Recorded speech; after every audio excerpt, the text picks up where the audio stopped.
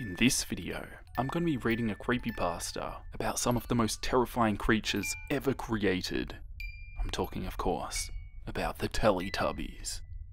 If you enjoy these creepypasta and drawing videos, give it a thumbs up, it helps out my channel in the YouTube algorithm, and subscribe to not miss out on my weekly uploads. But with that said, let's jump right into the story. Enjoy. Teletubbies.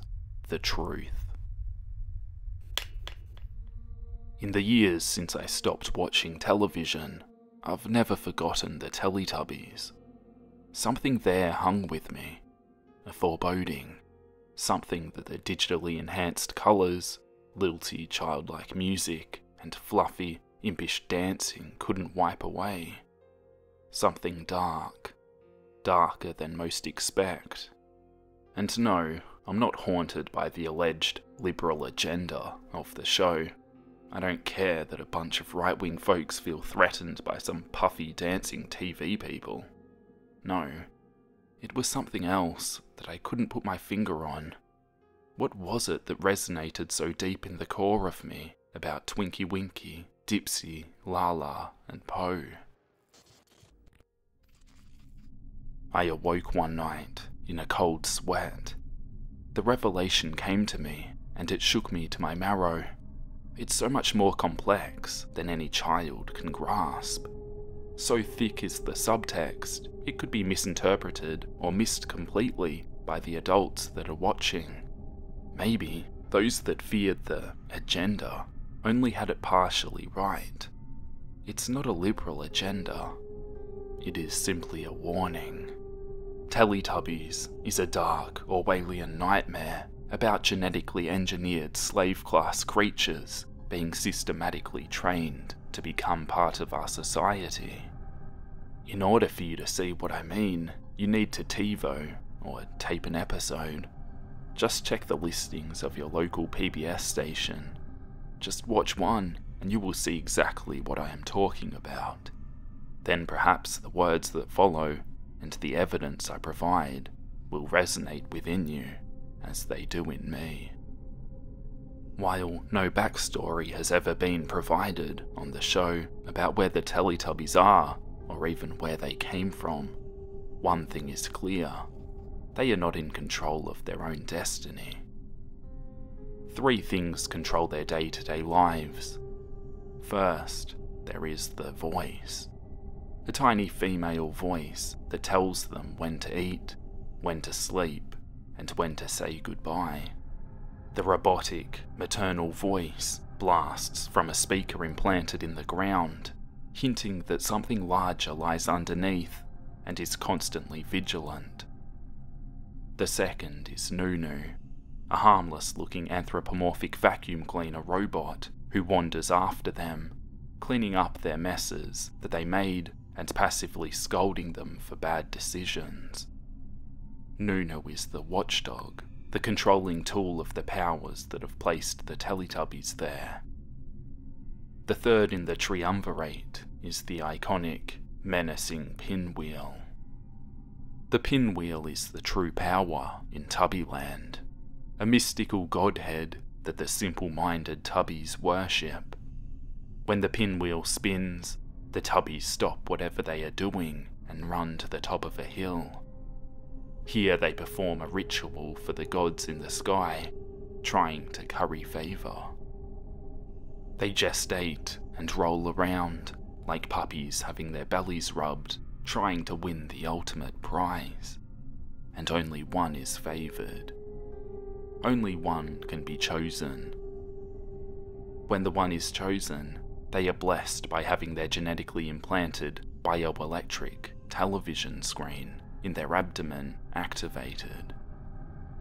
The tubby is rewarded, not only by being the pinwheel's messenger to the other tubbies, a mouthpiece, if you will, but also apparently by a physical orgasm of joy at the activation of the screen. And what does the screen show? It shows an indoctrination film. Here is the world of man and one of its customs. Learn, for you will soon join us. Live among us and serve us. a message from the pinwheel god. I call it Revnoku.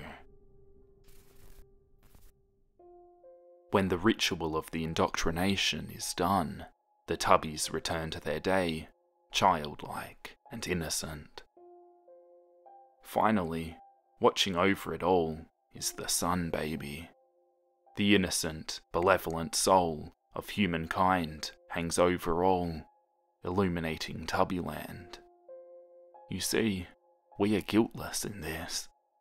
We have chosen for ourselves the form of a child, an infant. What could be more guilt free and benevolent than a cooing baby?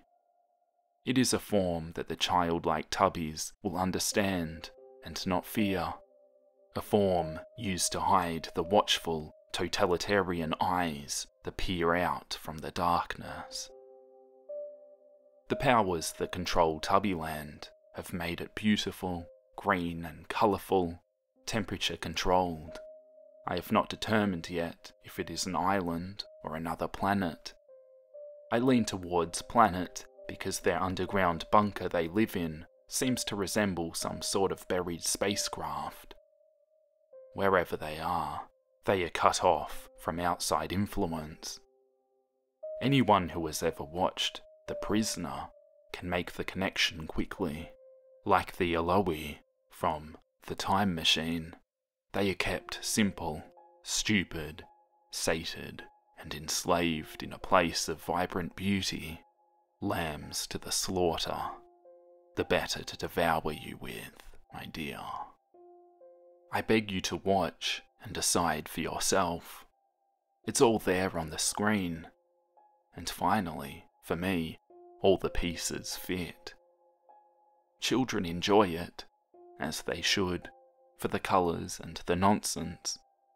For adults, it should be a chilling warning of times to come in future. It is a morality tale about the potential dangers of cloning and genetic manipulation abuse by those who think themselves benevolent. The Tubbies are alerting us to a future where genetically crafted, androgynous worker beings, with entertainment centres built into them, will serve us. Slaves who will stumble and babble their way through our world, pleasing us. For we are the Revnoku. We are the soulless, immoral leaders of their world. We demand that they perform and dance and work for us. Teletubbies is simply a warning about the encroaching darkness, the decay of the human spirit as it ages. Fat, bloated, and destroying the natural world around it.